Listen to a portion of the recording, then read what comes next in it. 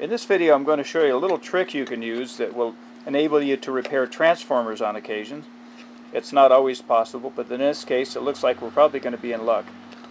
A gentleman just brought in this controller here for a, I believe it's a stove, and he said he didn't want to have to buy the whole board because it was going to cost him I think it was two or three hundred dollars. So he wanted to know if there's anything I could do to repair it.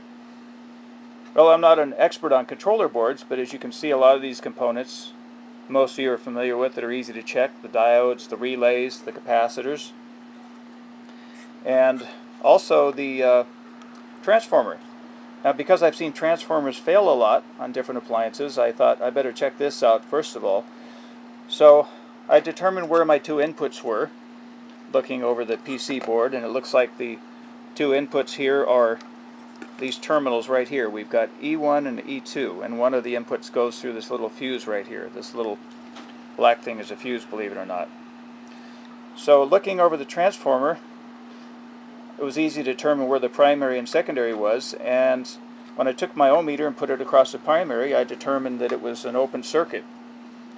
Well, unfortunately, when a winding burns out, sometimes that can be a real hassle because it could be deep within the transformer, so you're not going to find it. But a lot of times the manufacturers bury a little fuse inside these transformers.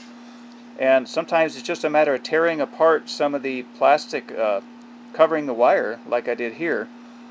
So after I unsoldered this thing, I started tearing apart the plastic here. And what do I find? But a fuse. Now it doesn't look like a fuse, but there's a fuse right there. It might have some more plastic around it. I'm going to see if I can further unwrap it and determine its value. But I, I've seen this a lot of times, and you can't always assume it's going to be on the top of the transformer. Sometimes it can be on the backside. You'll find a nice little fuse there.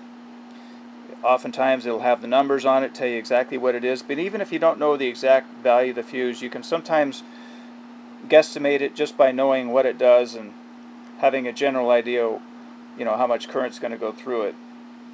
So I'm going to I'm going to tear this open further here, and uh, if I can get this going for the guy, he's going to be a happy camper because well, we're looking at, like I said, uh, two to three hundred dollars for this controller module here.